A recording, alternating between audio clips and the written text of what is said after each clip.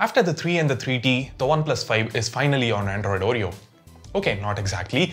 It's on the Oxygen OS open beta build based on Android 8 Oreo.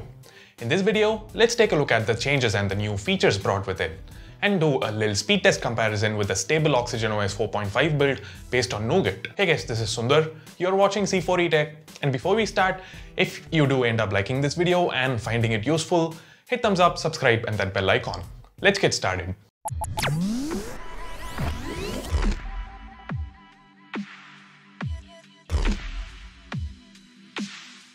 Like I said, this is an open beta build, so do expect some bugs to crop up every now and then, but then again it's good enough to give us a taste of things to come, right?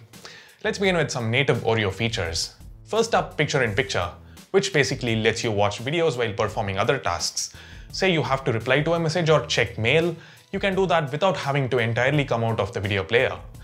Apps do need to be updated to support this new API. As of now, the list of supported apps include VLC, and that means over 100 million users are covered already.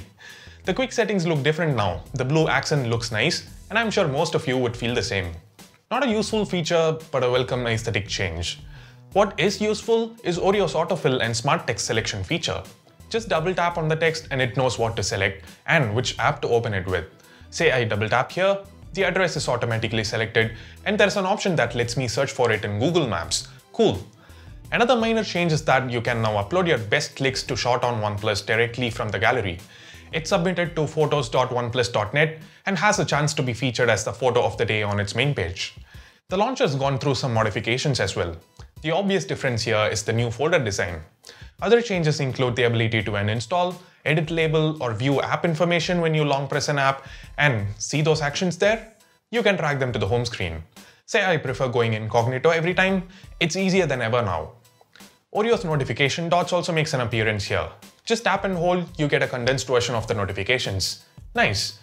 What OnePlus haven't borrowed from the native Oreo build is the revamped settings menu. It's the same as what we've previously seen. That said, the app section has gone through an overhaul. Just like on the 5T, it has app permissions, special access settings, and so on under the same roof. Talking about things borrowed from the 5T, we now have parallel apps on the OnePlus 5, which creates an additional instance of an app. Two WhatsApp or Skype accounts on the same device is now a reality.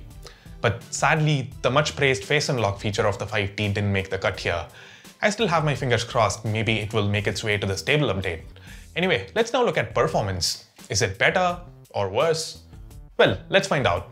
Let's do a little speed test between the Nougat and Oreo builds. We have the same set of apps installed, the phone's connected to the same wireless network and has nothing in the background. Opening up Temple Run 2, loads up faster on Nougat.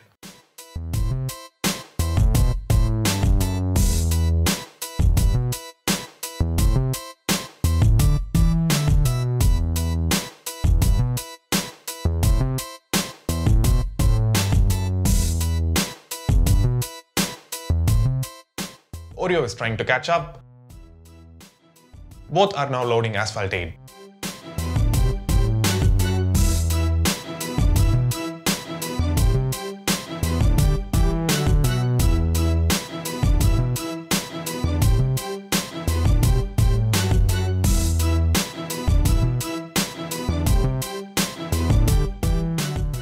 The OnePlus 5 on Nougat finishes the performance round in 53 seconds, on Oreo, it takes a few more seconds, 4 to be precise.